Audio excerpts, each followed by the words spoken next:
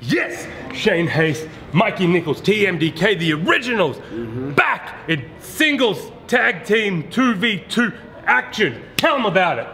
You know, when you think of tag team wrestling, there's four letters that mean more than anything. TMDK, the mighty don't kneel, and mm-hmm. what you're looking at is the next strong tag team champions. Yeah,